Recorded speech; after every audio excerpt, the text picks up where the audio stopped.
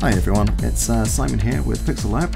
We've just launched a new text trailer pack and I just want to go through some of the models and generally have some fun. Now we built the pack to be sort of like a template or foundation for building your own work, so they're not a fait accompli. They aren't animated, they don't include lots of Xpresso, complicated rigs, they literally are just models which you can change with your own fonts or tweak to create your own bespoke tailor-made project. So there's quite a few here. I'm still scrolling think it's about 60 templates altogether. So hopefully um, there should be everything you need to get you started.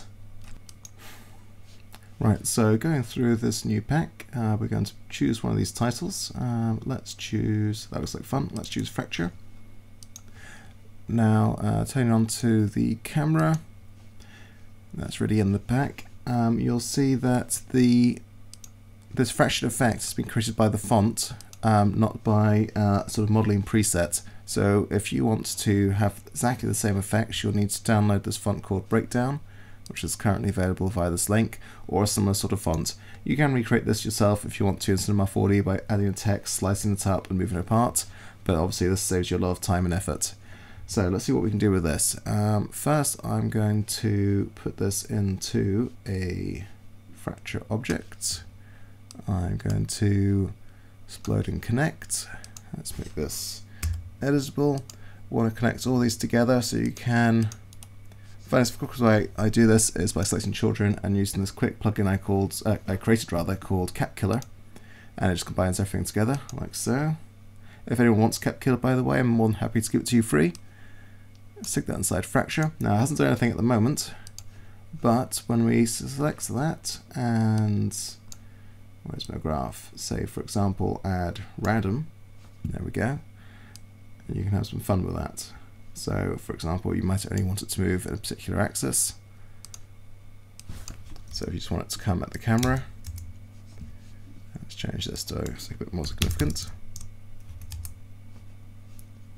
And select random, select your effector, and that's pretty cool.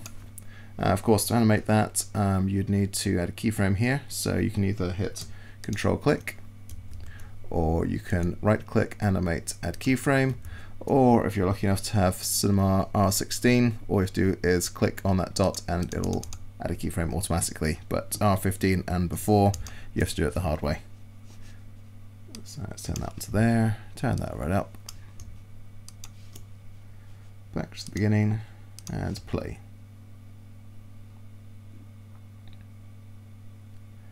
So that was a pretty cool um, first little play. Let's close that down and see what else we've got.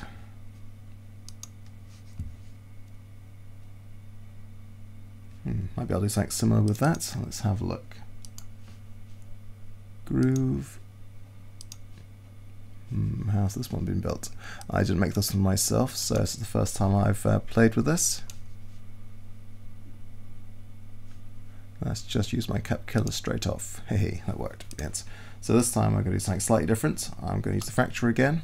Stick the text into fracture. Make sure you explode and connect segments. And this time we're going to use the Plain tool. Where are you? Ah, sorry. I will fall off to be linear. Let's put so we'll actually see it.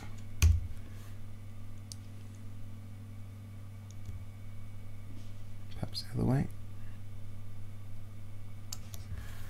Okay, and let's see what happens when we move this around. I'm hoping it's going to drop a layer at a time. Hey, that's pretty cool. Right, but I want it to um, have a sharper, less of a gradient. So let's make the actual size smaller.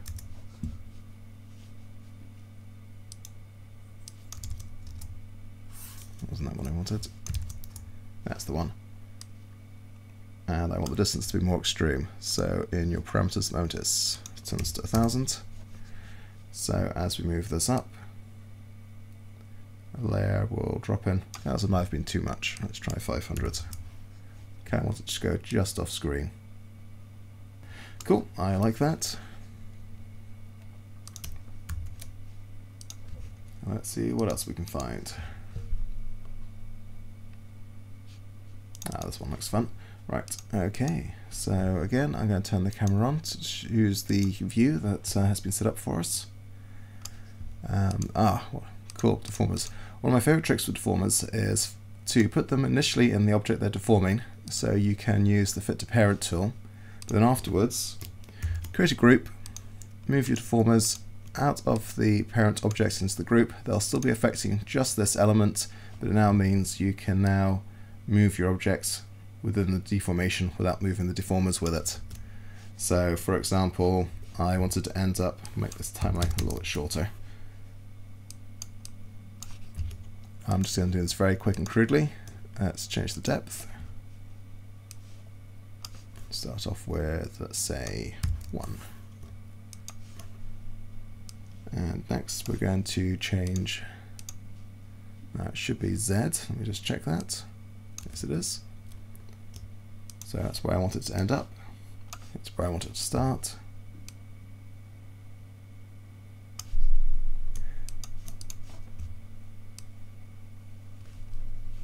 And just gives you a little bit more animation. And that was done with, um, well, at least I don't think I've done, used any um, MoGraph. Again, I didn't actually create this one, um, so it's the first time I've had to play with it myself. Um, but, uh, yep, I think we could have some good fun with this.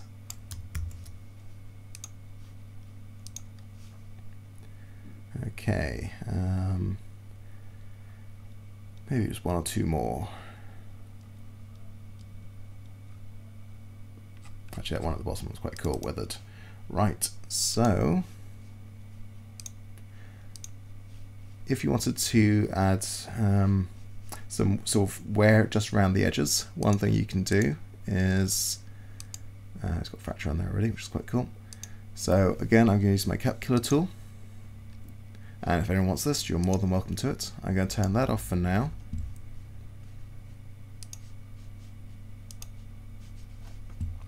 And I'm going to go into, you'll leave that on because I like a bit of shading. What I'm going to do is turn the textures off, like so. Just makes it nicer to work with. Okay, and I'm going to go into line mode. Actually, I'll change to that one. Select my object,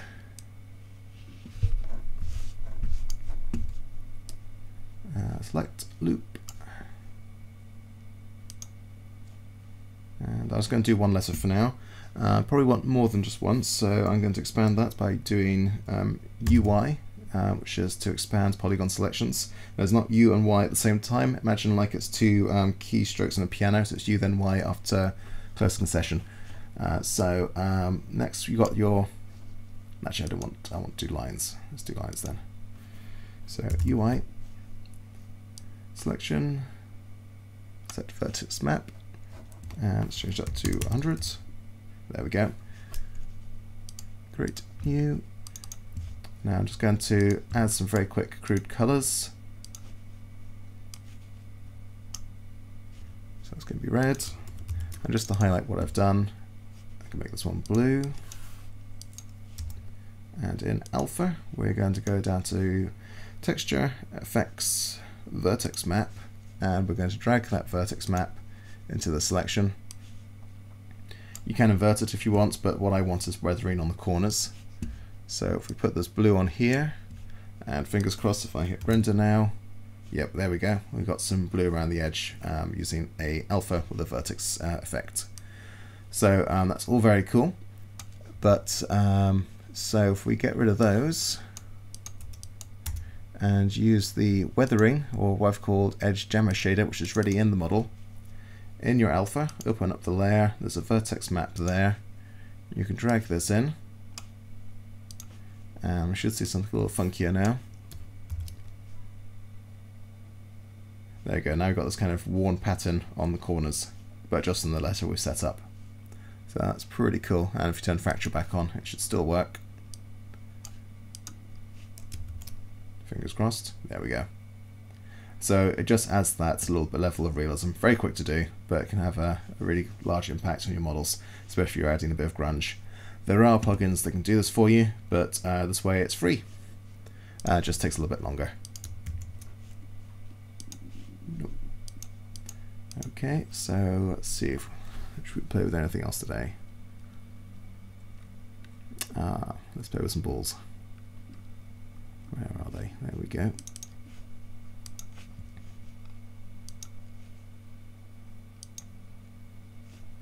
Now, um, you could do a um, cloner morph if you wanted to. For example, you could have a triangle in here, use the um, inheritance tag to morph from one cloner to the next. But today I'm just going to keep it simple, and I'm going to uh, let's see what should we do. Let's just do a random. There we go. And it morphs into the letters. Nice and simple. Of course, if someone wants a tutorial on how to use the inheritance tag with regards to morphing from one cloner to another cloner, I'm more than happy to provide another tutorial for that in the future. Should I do one more? Let's have a look, because I'm having too much fun now.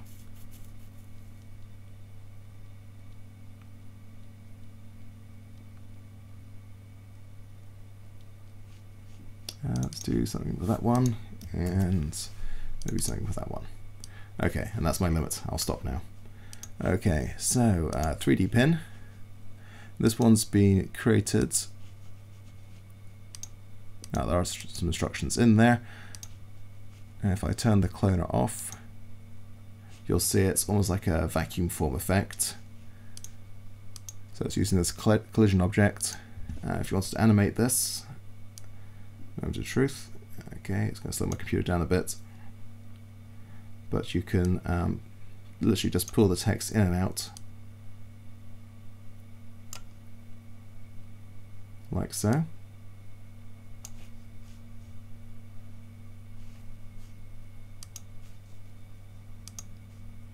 So at the moment it's referencing this text here called change text. If I turn that off, it goes off and let's choose some other random objects. Let's choose this figure. Let's hope this works. And under collision, put the figure in there.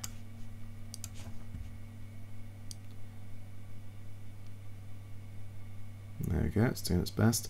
Probably wasn't the best choice. Let's turn my cloner back on. There you go, you're getting the relief of the character. And we don't actually want to see it there. There we go, we just want the uh, pins to move. So that's pretty cool. And let's see, how's this one built? Right, um, nice thing about this one is you've got these, I can't really zoom in any further, um, but you've got these little uh, lens flare highlights. Now there's two ways of doing this. You can either, if you've got some natural specular, under your render settings, you can choose highlights, and you can then choose what kind of highlight you want and use thresholds and the size and brightness and so forth and you can get mixed results. It, it, works really well if you're doing a sparkling sort of sunset waves and you get some very realistic um, sort of sparkles on the wave tips. But if you want more control, I recommend using a light with a, where is it? It must be that light there should be another light. Oh, highlights. There's a folder of them. So what I recommend is actually using a light object and then using and or forcing it to use uh, one of these lens flares here. That way you can also have lots of control. For example, if you wanted it to draw around the le letter. So let's go to change text here. Which one's which? That's that one there. So I'm going to copy and paste that. I'm going to give it no depth Let's uh, make it editable. That's even given me a path. Lovely. So I'm just going to do it on the one. Let's check it. Yeah, that's as I expected. Okay, and then I'm going to use this light. Line to path. Touch to the path. And then what I'm going to do is animate the lights going around it. Again, that timeline's a little too long, so four seconds should be enough. 100%, add a keyframe, and what will be quite nice is the lens flare will go, or highlight, or draw around the letter. What will be even nicer still is if it varies in strength as well. So I'm going to at 50% be 100. And so it kind of fades in and fades out. Gonna turn the other ones off just so there's no confusion. Now if you're using this project for the first time it won't automatically give you the right um, render settings. You actually need to force lens effects on or else these lens flares won't actually do anything. So I render that quickly now. Why haven't you rendered? Oh, it's because that's the zero. Okay, so let's try that again.